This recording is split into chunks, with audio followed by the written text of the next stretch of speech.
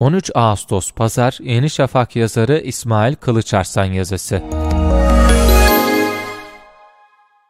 Ceka onun gibi adamları çocukluğumun Ankara'sından hatırlarım en çok. Yere sağlam basan, sözünde duramazsa ölecek gibi olan, sevdiğini karşılıksız ve ölümüne seven adamlar.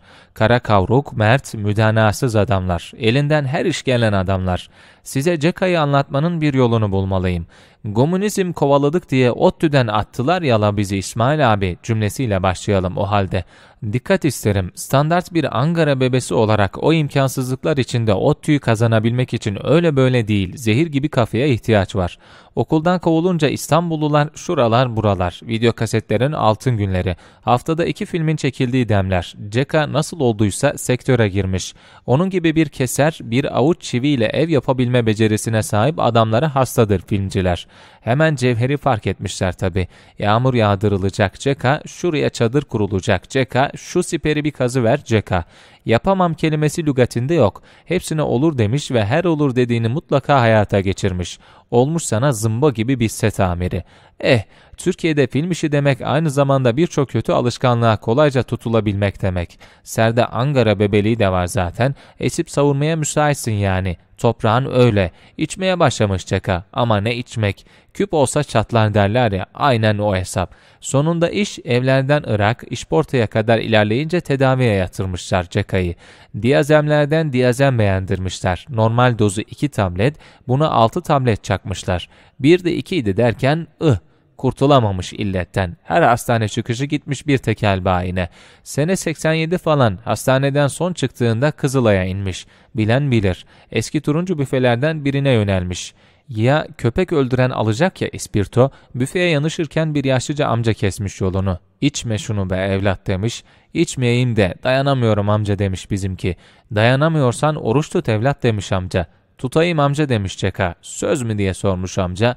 Canın her bu illeti çektiğinde oruç tut. Hatta sen Peygamberimiz sallallahu aleyhi ve sellemin sünnetine uygun olarak her pazartesiyle her perşembe oruç tut. Söz mü? Söz demiş Ceka. Dedik aserde Angara bebeliği var diye o sözü hiç yere düşürmemiş. 30 yıldır pazartesi perşembe orucunu bıraktığını ne bilen var ne gören. Sonra, sonrası hayat gailesi. Setleri bırakmış, taksicilik yapmış. Oğlu avukat çıkmış, kızı tıp okuyor falan.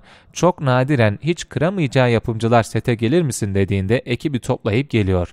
Hiç kıramayacağı şu demek. Bir, namaza gitmesine izin verecekler. İki, yapımcıların iyi insan olduğuna emin olacak. Şimdi Bosna'da beraberiz Ceka'yla. Bazen usulca koluma girip hadi gidek la İsmail abi diyor. Gidelim diyorum. Usul usul yürüyüp bir Bosna camiinde namazları kalıyoruz. Camiden her çıktığımızda Allah anandan, babandan, atandan razı olsun. Sayende camiye geldik diye dua ediyor. Beni camiye getiren kendisi değilmiş gibi. Arada beni yazı yazarken yakalıyor. Beni de yazla İsmail abi.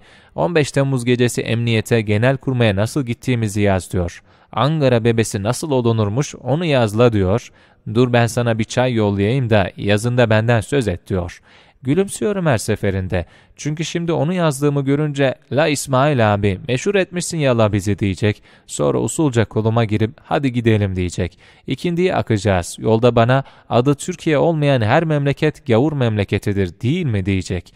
Gülümseyeceğim bunu da. Sette çok zor bir işin üstesinden gelmek için çikolatamı alırım ama diyerek rüşvet isteyecek. Çikolata kolay diyeceğim. Fakat en çok şuna üzüleceğim. Hikayesi hakiki böyle adamlar niçin giderek azalıyor?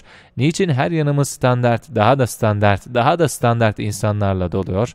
Bu güzel abileri kim, niçin üzüyor, niçin çekiliyorlar hayatımızdan? Neyse.